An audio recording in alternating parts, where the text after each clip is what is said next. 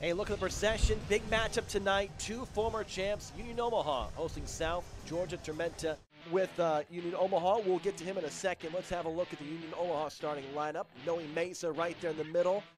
Front line for Tormenta is so dynamic as we're set for action from Warner Park in Papillion, Nebraska.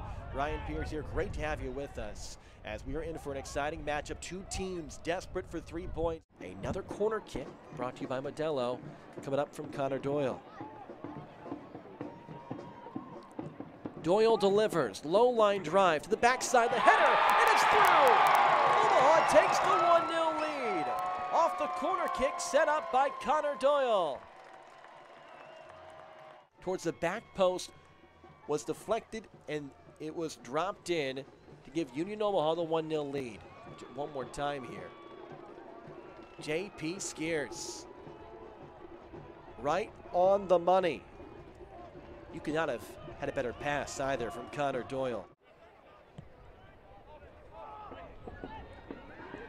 Chance maybe for Brewer Jr. He runs it down, sends it back to the middle, and an own goal from Tormenta.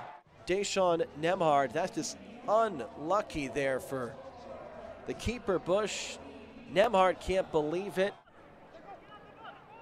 Akele crossing back to his right foot, dumps off to Akoto. The chip across the box. Left footed kick is right to Nuhu. And there's Marco Milanese showing off his defensive chops. Really growing into his own.